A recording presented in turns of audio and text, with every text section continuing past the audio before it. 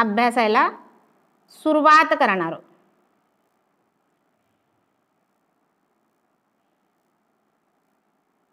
पहा.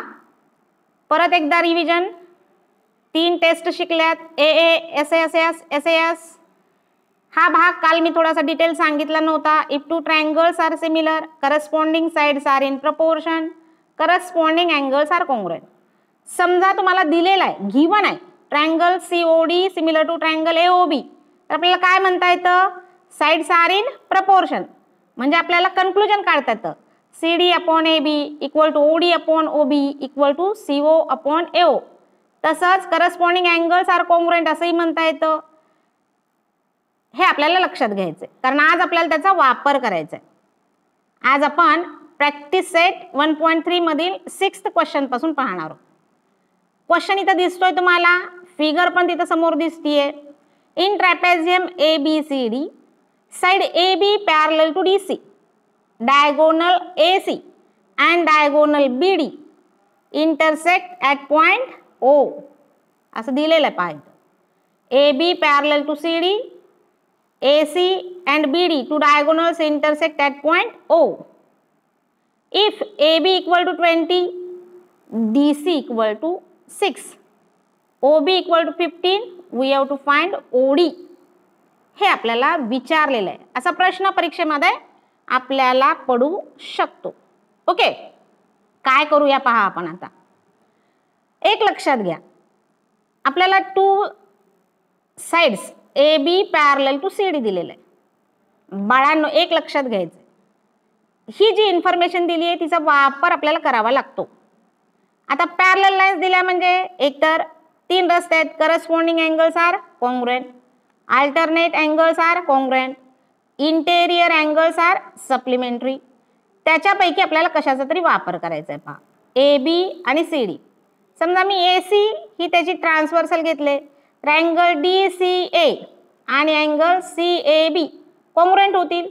तसंच angle C D B आणि अँगल डी बी ए हे सुद्धा कॉंग्रुएंट होतील. जर बी डी आपण ट्रान्सवर्सल घेतली तर. पण हे कशासाठी लागणार आहे?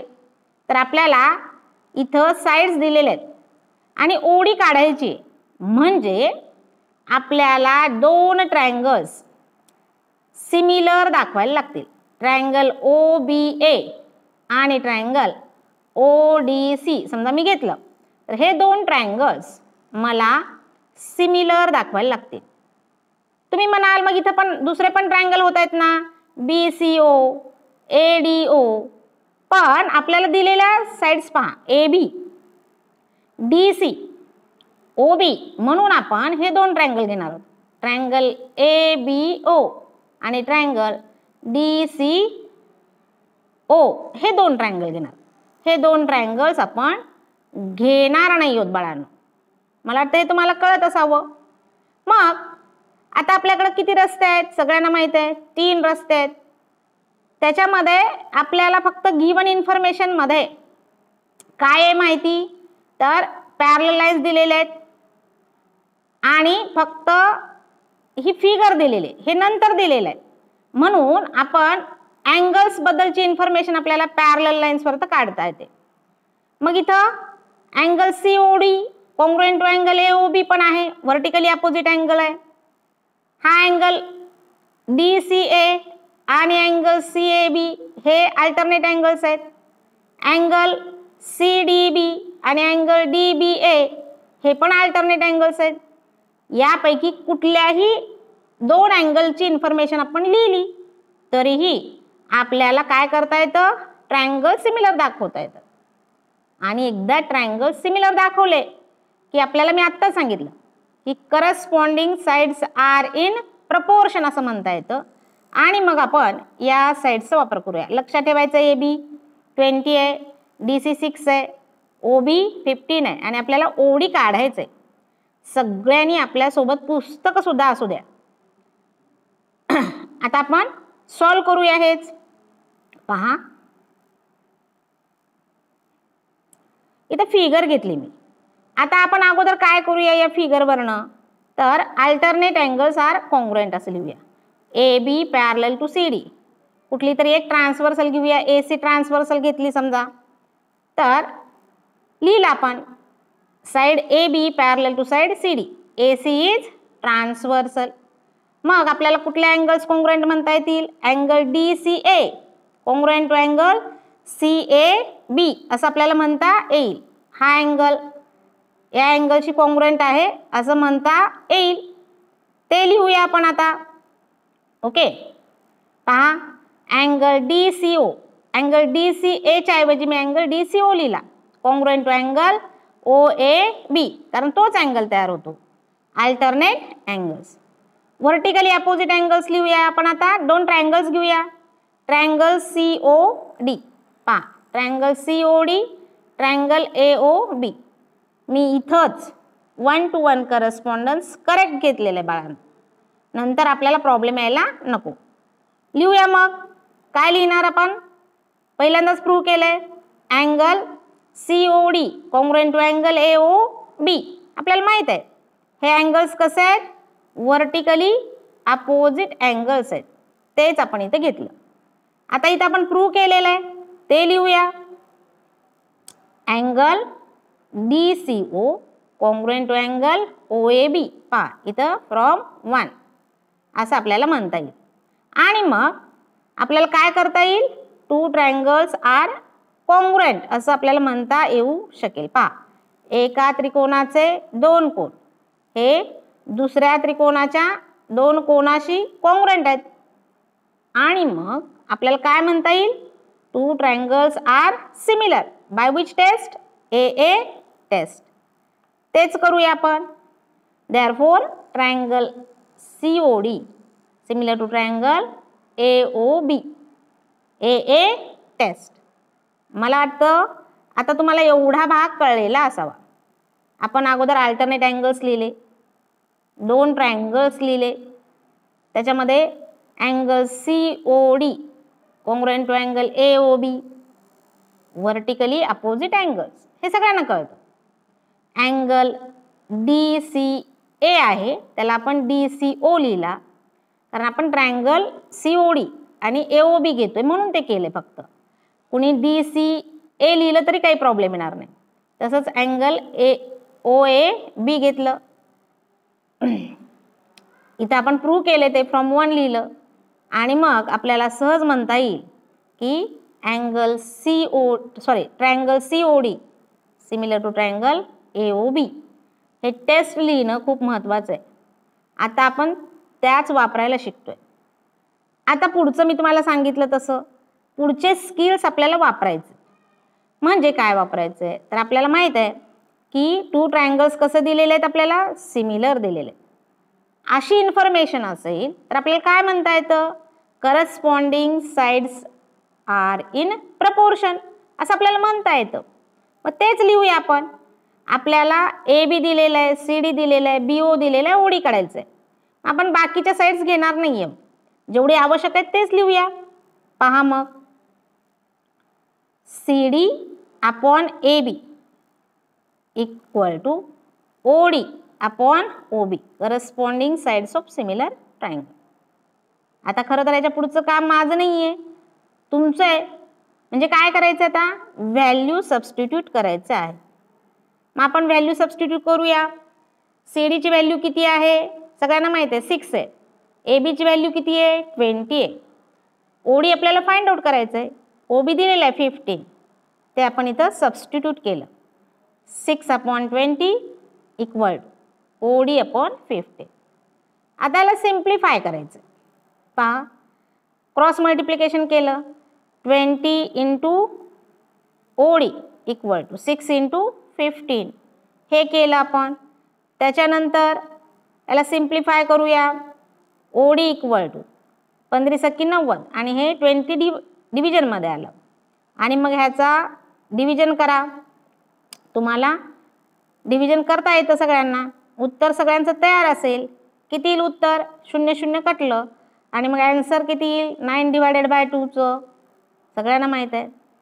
फोर पॉईंट फाय आता आपल्याला इथं A B twenty D C six असं दिलेलं आहे.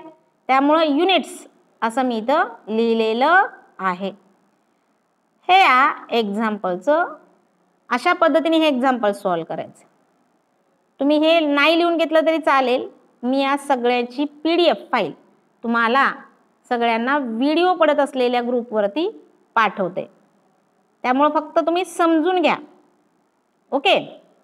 आता आपण नेक्स्ट एक्झाम्पलकडे जाऊया. मला वाटतं समजलं असावं सगळ्यांना?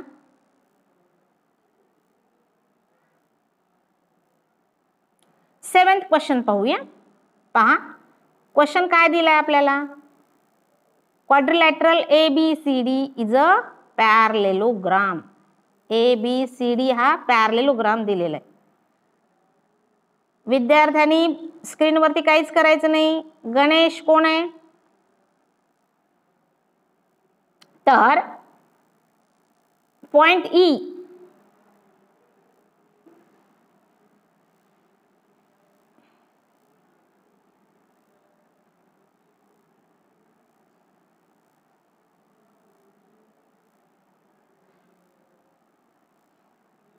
Sorry point E is on side B C पहा, आहे की नाही? Point E is on side B C त्याच्यानंतर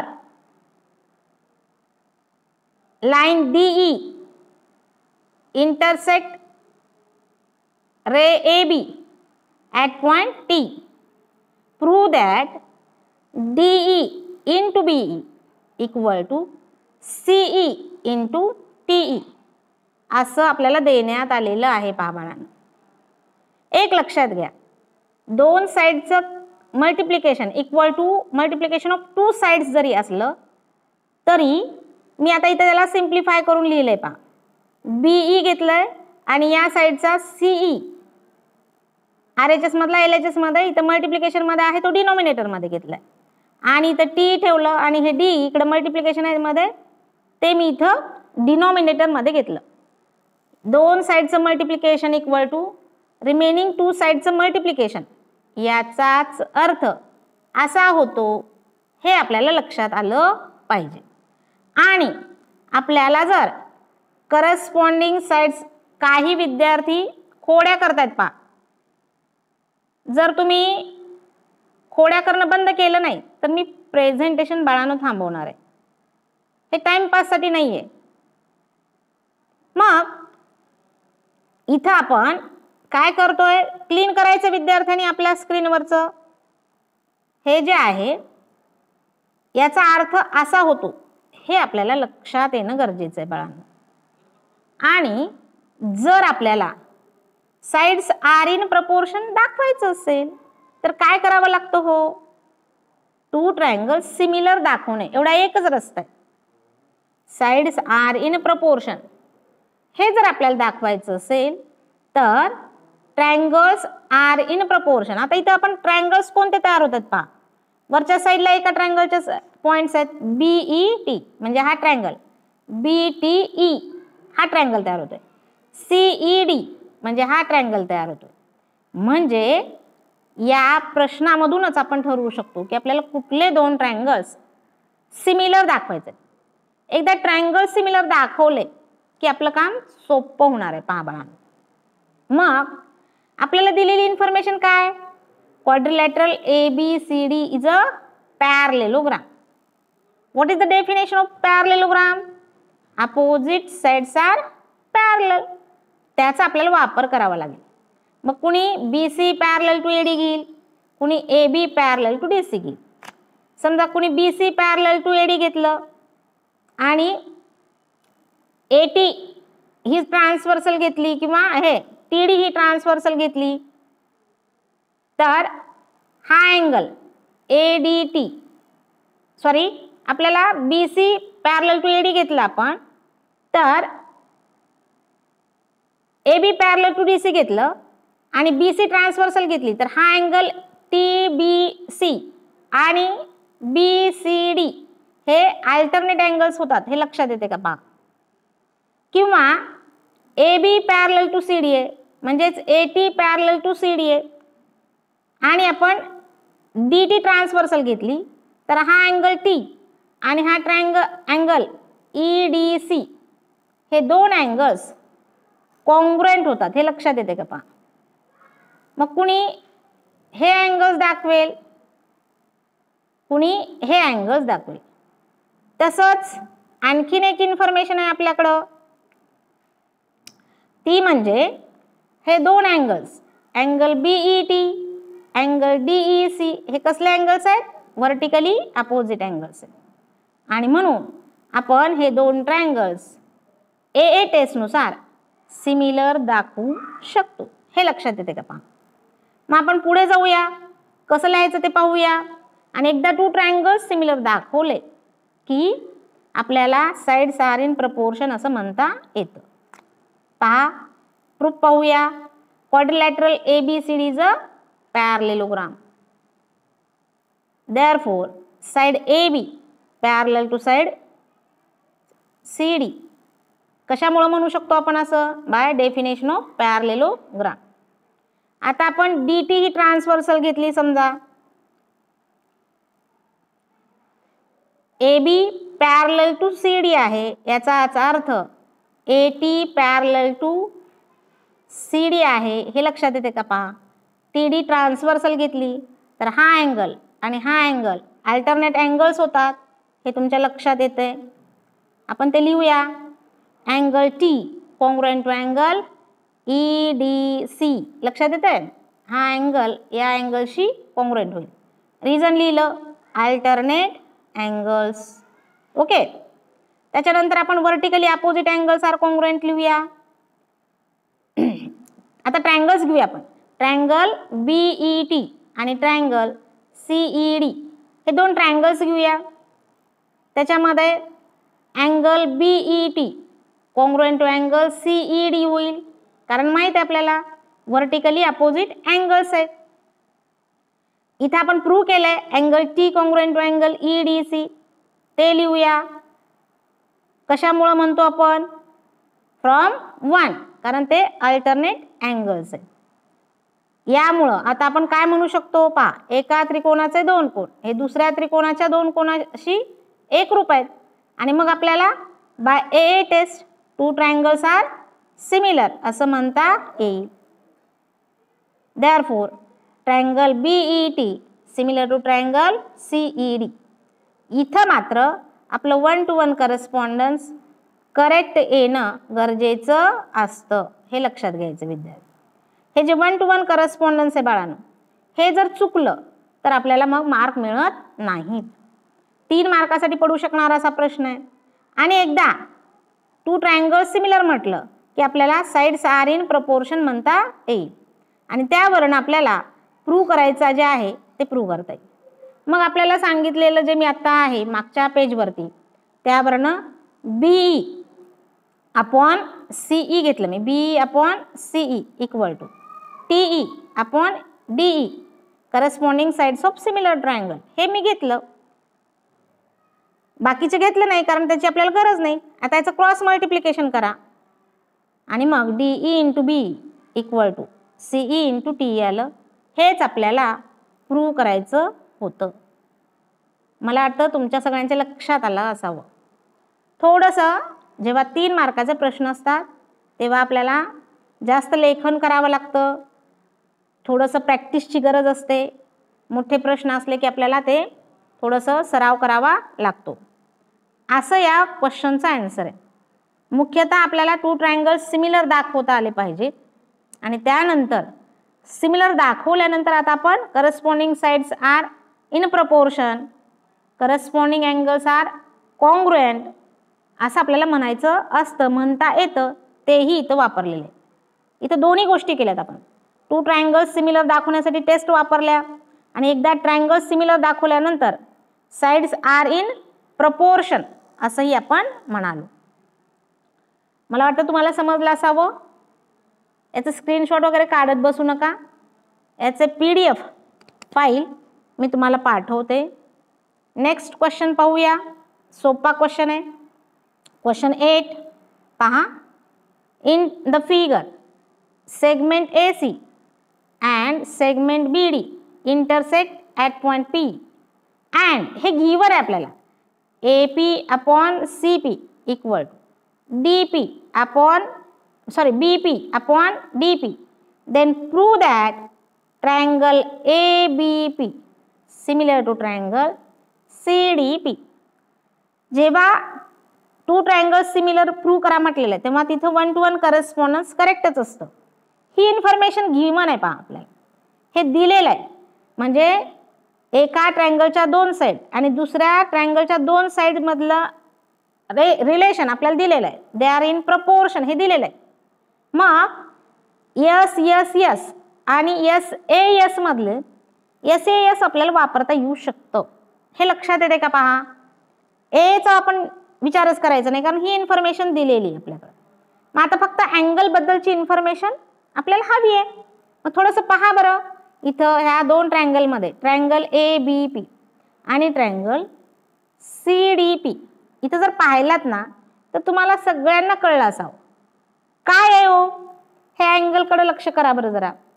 हा जो अँगल आहे याच्याकडे लक्ष करा. कसले अँगल्स आहेत तो हे? हे अँगल्स आहेत व्हर्टिकली अपोजिट अँगल्स आणि ह्या साईड्स आहेत पहा. A P C P B P आणि डी पी यांनी इन्क्लूड केलेला अँगल आहे. त्यांनी समाविष्ट केलेला कोण आहे. म्हणजे आपल्याला इथं यस ए यस टेस्ट वापरते. फक्त आपल्याला काय इन्फॉर्मेशन कॉमन सेन्सने काय लक्षात घ्यायचं आहे हे दोन अँगल्स कॉन्ग्रेंट व्हर्टिकली अपोजिट असल्यामुळे. झालं तर मग? एवढं सोपं एक्झाम्पल आहे ते. आपण आता ते कसं लिहायचं ते बघूया. अगदी सोपं एक्झाम्पल आहे. पहा. फिगर मी इथे घेतली आहे in triangle A B P and triangle C D P मी तुम्हाला सांगितलं की आपल्याला काय करायचं आहे हेच ट्रायंगल सिमिलर दाखवायचं मग इथं आपण one to one correspondence to prove दॅटमध्ये दिलेलं तेच घेणार आहोत. त्याच्यानंतर आपण पुढे जाऊया.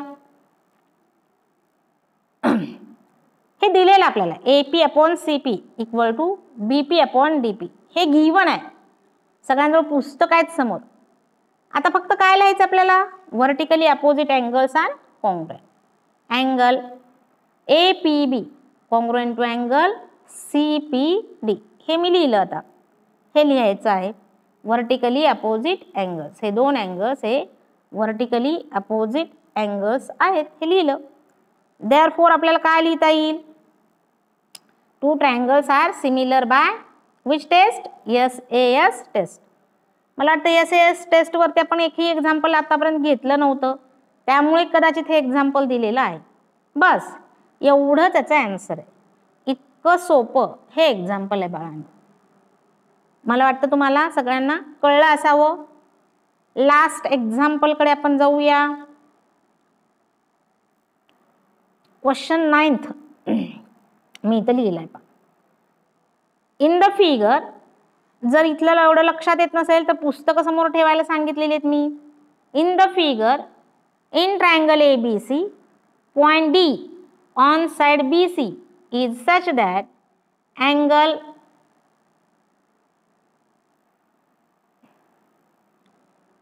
angle B A C equal to angle पा angle B A C equal to angle A D C लक्षात येते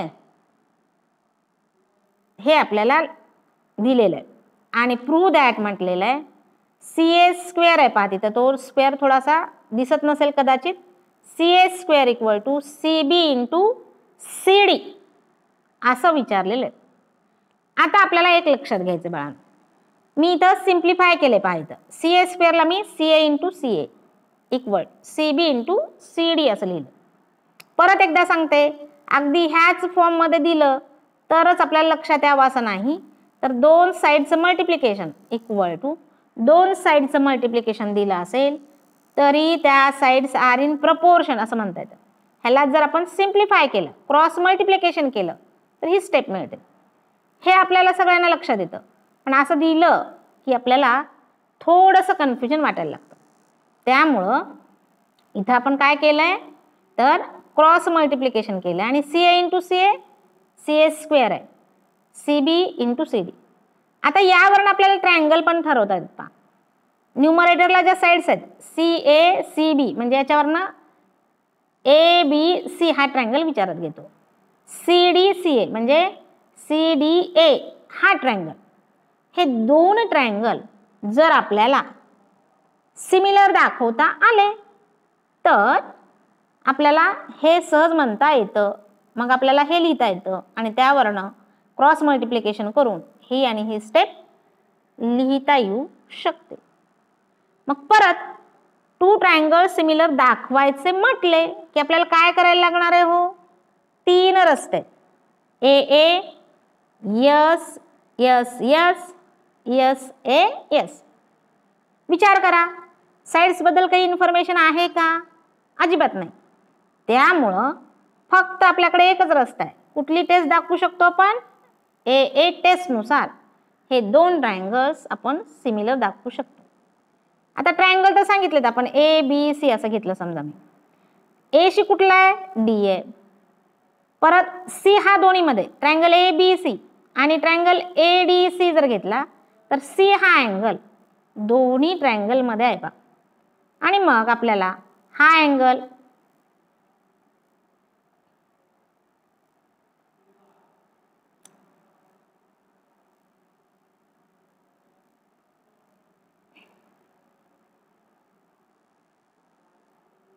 सॉरी हा अँगल या अँगलशी कॉन्ग्रेंट दाखवता येईल.